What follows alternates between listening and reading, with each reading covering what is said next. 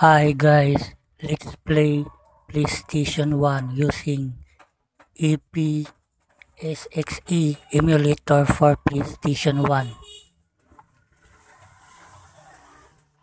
I set the internal resolution 4 times. Now let's see if smooth in PlayStation 1 game.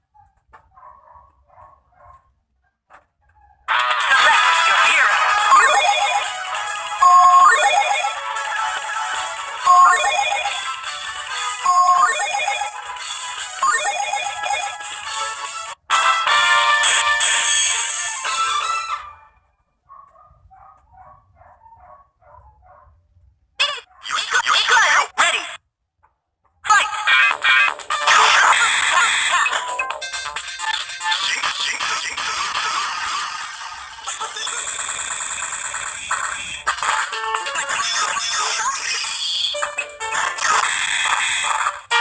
you.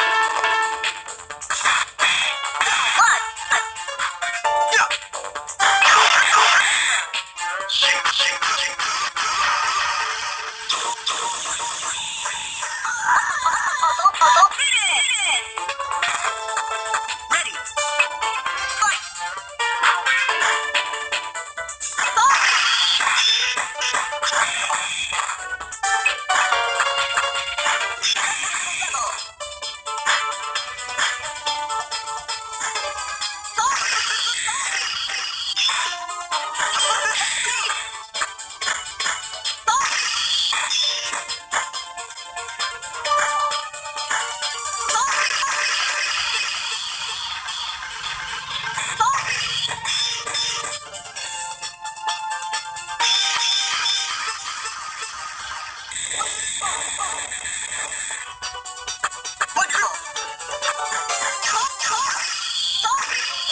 Oh!